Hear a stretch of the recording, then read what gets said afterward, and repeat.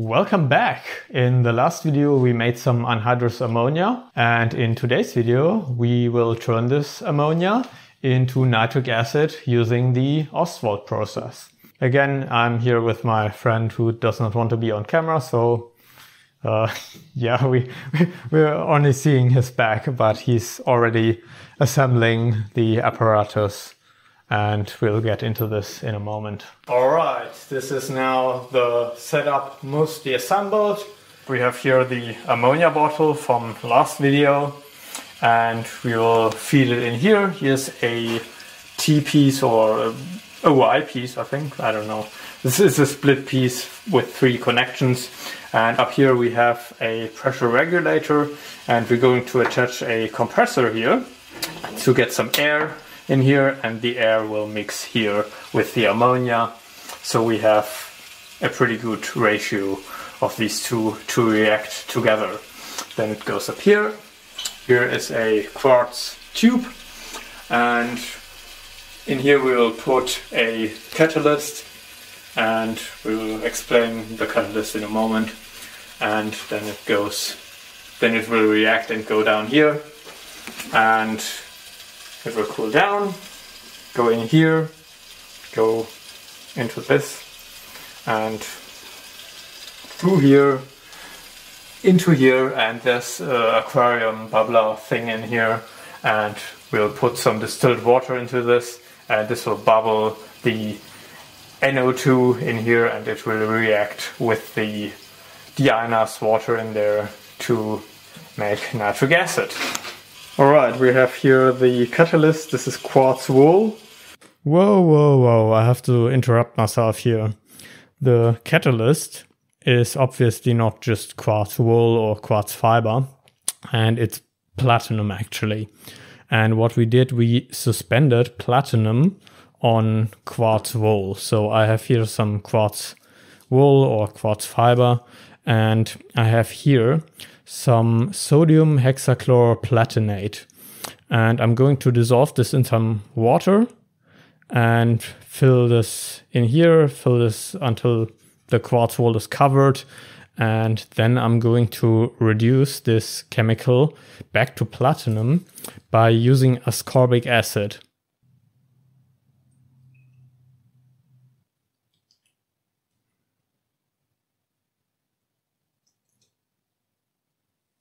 Okay, now the sodium hexachloroplatinate is dissolved in some deionized water and is now in here.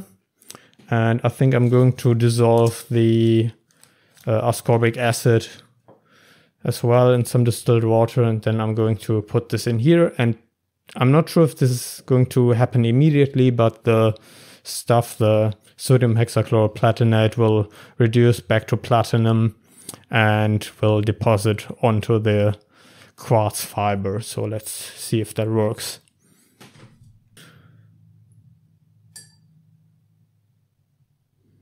Well, well, well, I left it overnight and all the platinum crashed out and the quartz fiber is now coated with it. And I'm going to pull the quartz out of there, wash this with distilled water, and after it's dry, I'm going to heat it up in a torch and that's going to fuse the platinum onto the quartz. And then the catalyst is done. There is a specific video on YouTube how to make this catalyst, but in my opinion, it's absolute shit. I'm not going to mention which video it is, but if you want to see a video from me how to make this, then leave a comment and maybe I'll do it. One last point, uh, some of the audio got unfortunately messed up. Also the fume hood is pretty loud. So I might put some voiceover in some sections of the video. And we will put this in here and we have a ceramic boat in here so it doesn't slide around from the gas that's going to flow through there.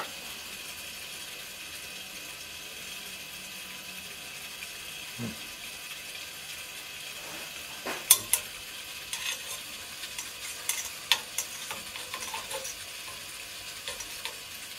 All right, we have the catalyst here and we will heat this up with this burner and then hopefully when it's hot and the ammonia and the oxygen is going through there we will have a self-sustaining like catalytic heat conversion and this will keep the catalyst catalyst hot and then we can slide this uh, glass wool insulation thing over there to keep it warm.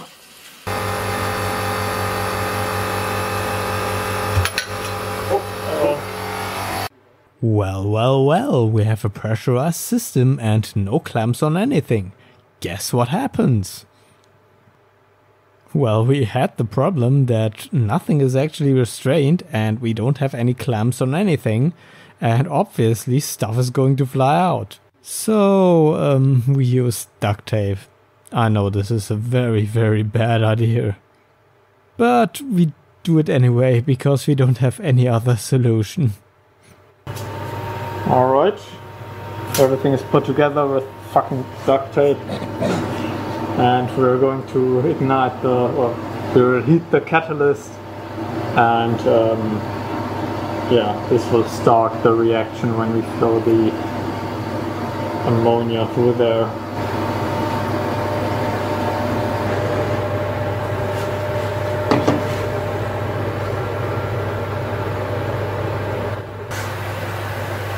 Damn. But it's not yellow. Okay, that's that's nitrate.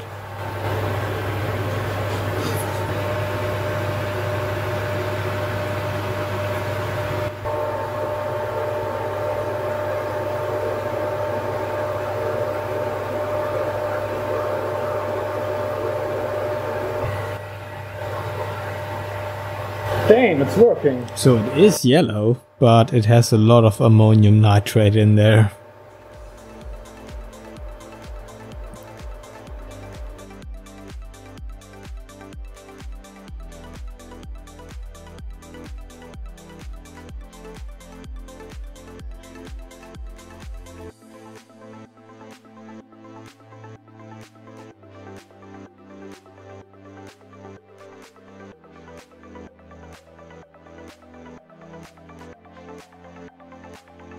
So there is some brown vapor. From this angle you can see that. But we also have a lot of ammonium nitrate coming off of this and you can see it from this angle. So it's still not great. Damn it, we had some suck back as well. So uh, we're, we're going to try to replace the, the, the catalyst that's in there right now with some catalytic converter. See how that works. In my opinion, the uh, catalytic converter has a very long contact time and will decompose the nitrogen dioxide as well, but let's try it.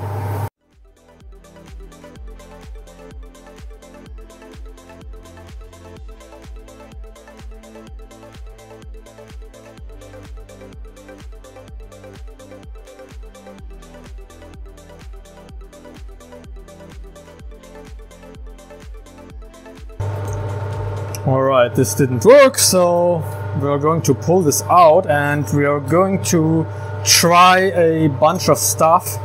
Uh, the first thing we're going to do is we're going to do like the smallest flow of oxygen and of, of air and uh, ammonia as possible. See if that's making any difference. And the next thing would be uh, to try, um, because it was relatively good when it was heated from the outside, that maybe it just doesn't have the ability to uh, be self sustained. So let's see. Uh, damn it.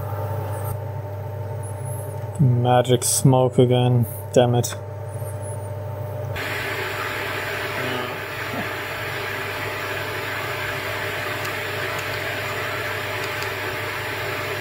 All right, yeah. we tried a bunch of stuff, but um, it's uh, really difficult to keep it at a point where, like, we, you need to strike a balance between the air and the ammonia, and it's really hard to achieve a, a optimal point. At some point, it's sort of yellow in there, but the problem is that when you turn this up, gas will flow out of there, and due to this to the, the evaporation of gas, it will cool down, the vapor pressure decreases, and that then the, the flow will fluctuate or the, the, the flow will uh, decrease again. And it's like really not a constant flow out of this bottle due to this. So yeah, and because this non-constant flow, it's really hard to have to, to select an optimal point. Also because we rely on looking at the flask and seeing if there's some ammonium nitrate still in there. And it's a bit hard because it takes a while until this is cleared out and then we might already past the optimal point. So uh, we have to somehow figure out how to better get this point, this optimum to see how we can get this to work.